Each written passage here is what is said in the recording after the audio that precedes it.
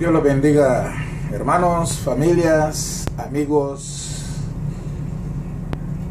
Les saludo una vez más en el nombre del Padre, el Hijo y el Espíritu Santo. Y sobre este nombre, que en todos nosotros estamos luchando, y que el nombre de Cristo Jesús de la Gloria nos conduzca a todo buen conocimiento. Estaba pensando yo, hermanos, de que el estrés, la depresión y la ansiedad va. Quiero dar, hablarles un poquito de eso porque siento que tanto en las congregaciones nuestras, en el mundo, al cual se le estamos predicando, ayudar a la gente a salir de estos problemas. Pues yo le he pedido al Señor que me dé un poco de conocimiento para poderles hablar respecto a esta situación que mucha gente están padeciendo. Es triste ver los hogares destruirse por cosas pequeñas que tienen arreglo. Porque cuando venimos a Cristo Jesús de la gloria, Él nos ayuda porque Él dice, yo he venido a sanar a los quebrantados de corazón, a los presos. Y así va diciendo el versículo al respecto de esto. Pero dice su, aquí tenemos una pequeña un pequeño pensamiento que nos va a ayudar y a usted también allí en su hogar, eh, ayudará a su amigo, a quien sea. esto es para nosotros.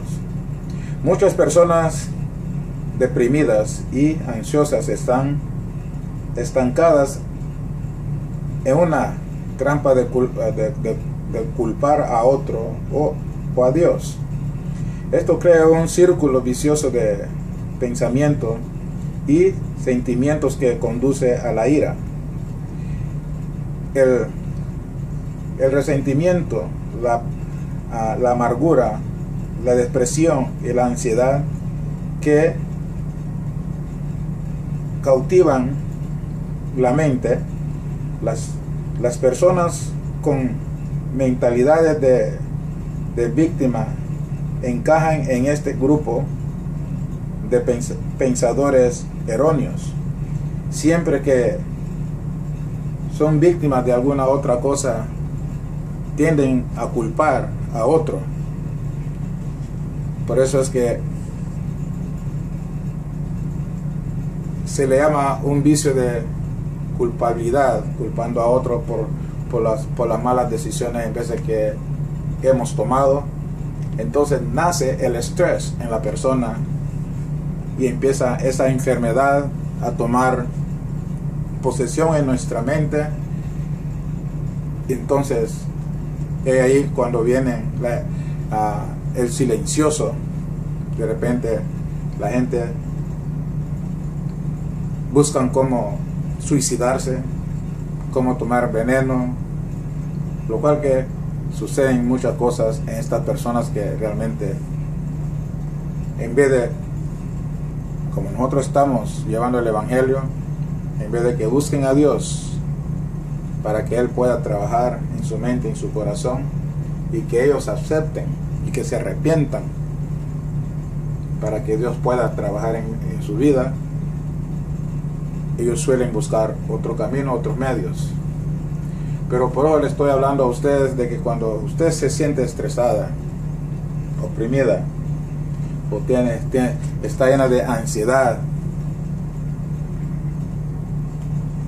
como dice Santiago, hay que buscar a los ancianos de la iglesia para que oren por ustedes y para que les den palabra de aliento, palabra de sanidad, que viene a través de Cristo Jesús de la gloria. Así como lo, leíamos aquí, hermanos, el estrés y la depresión y la ansiedad andan juntos.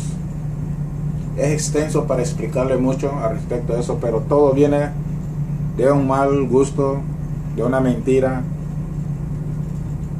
un novio, engañó a la novia, un esposo engañó a su esposa, un marido engañó. Entonces está ese, esa culpabilidad, entonces la gente no hayan que hacer, sino que a pensar lo malo. Pero dice la palabra de Dios, vamos a leer aquí en Romanos 12, ¿va? El amor sea sin fingimiento, de Romanos 12, desde el 9 adelante. El amor sea sin fingimiento, aborrecer lo malo, seguir lo bueno, amar los unos a los otros con amor fraternal, en cuanto a honra, a prefiriendo, los unos a los otros, en, en lo que requiere diligencia, no perezosos, fervientes en el Espíritu sirviendo al Señor, gozados en la esperanza, sufridos en la tribulación constante en la oración, compartiendo para, para las necesidades de los santos, practicando la hospitalidad.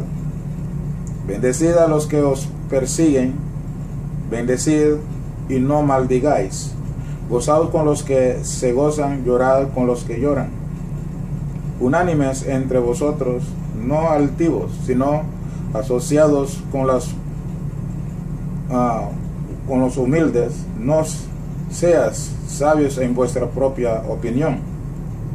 No paguéis a nada, a nadie mal por mal. Procura lo bueno delante de todos los hombres. Si es posible, en cuanto depende de nosotros, estad en paz con todos los hombres. No os venguéis vosotros mismos. Amaos míos, sino dejar lugar a la ira de Dios, porque escrito está, mía es la venganza, dice el Señor. Así que, si tu enemigo tuviera hambre, dale de comer, si tuviera sed, dale de beber, pues haciendo esto, aguas de fuego amontonarás sobre su cabeza.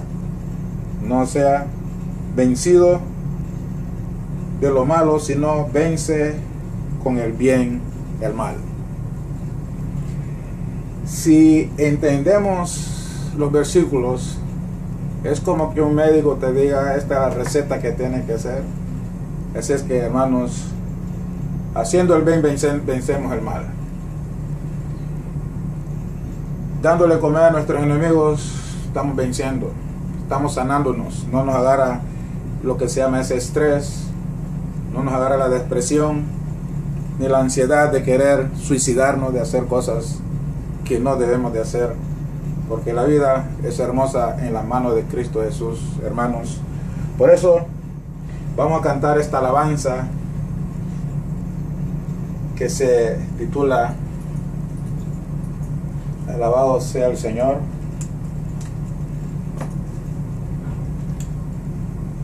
Cristo, yo te amo. Usted cante conmigo. Alabado sea Cristo de la gloria que siempre nos lleva y nos para traer alabanza a su nombre. Levanta tu mano. Cristo yo te amo.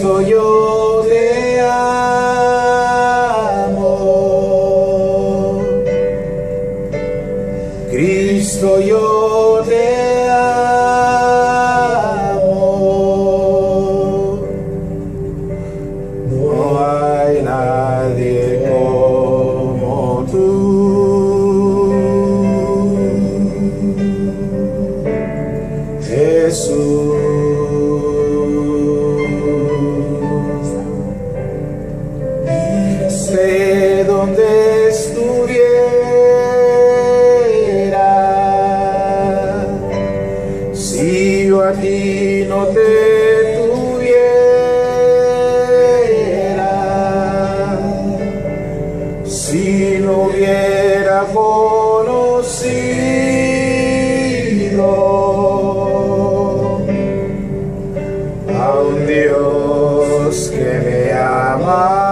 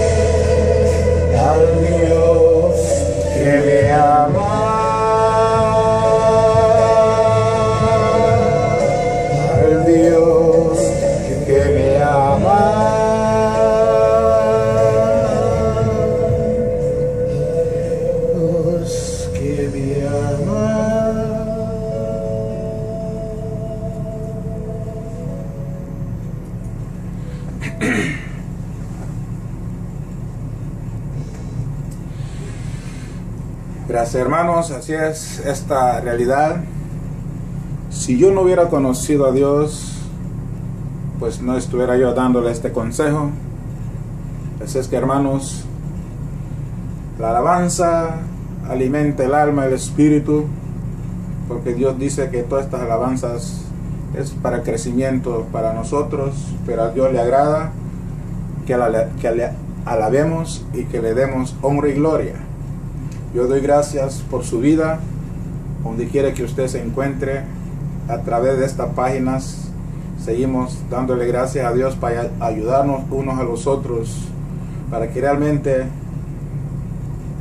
enlacemos el primer mandamiento que está en la Biblia, hermanos. Ese es el único problema que tenemos todos los seres humanos en este mundo. De dejar de último el primer mandamiento que Dios ha dado a su iglesia. De amar a Dios sobre todas las cosas. Con toda la fuerza de nuestro corazón. Y con toda la fuerza de nuestra mente, hermanos. Para que así podamos, hermanos, que Él pueda habitar en nuestra vida. Y todas estas clases de enfermedades no vendrían a nuestra mente porque dice que tenemos que estar pensando en hacer el bien, amarnos unos a los otros, ya el segundo mandamiento. Así que hermanos, Dios me los siga bendiciendo en su congregación, donde quiera que se encuentre, en su casa, siempre cuando levante una oración, ore por mí para que sigamos juntos y unánimes luchando por este camino que nos lleva a la vida eterna. Dios me lo bendiga, síguese gozando.